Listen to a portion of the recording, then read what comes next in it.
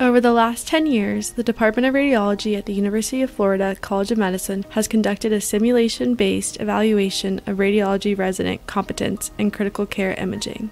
243 residents interpreted this case of Legg-Calvé-Perthes disease as one of 65 cases during an 8 hour simulated on call shift, with a median score of 0 out of 10 and an overall average score of 3.91 out of 10.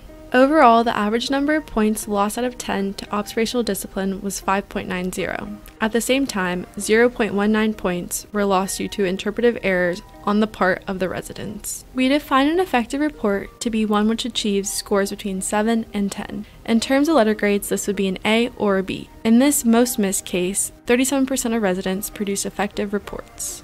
We define a report having a critical error to be one with scores between 0 and 2. In terms of letter grades, this would be an F or a D. In this most missed case, 59% of residents produce reports with critical errors. Two views of the pelvis in a 10 year old boy demonstrate subchondral lucency at the superolateral aspect of the left femoral head, consistent with a subchondral fracture and osteonecrosis.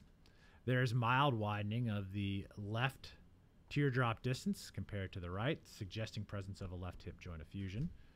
Orthopedic consultation is recommended. These findings would be assigned an acuity rank of priority and should be discussed with the referring clinician. Legg-Calvé-Perthes disease is osteonecrosis of the femoral head epiphysis in a child. Early radiographic findings include widening of the teardrop distance, which may be due to thickening of the cartilage, joint laxity, or presence of joint fluid. Subchondral fracture, which is known as the crescent sign.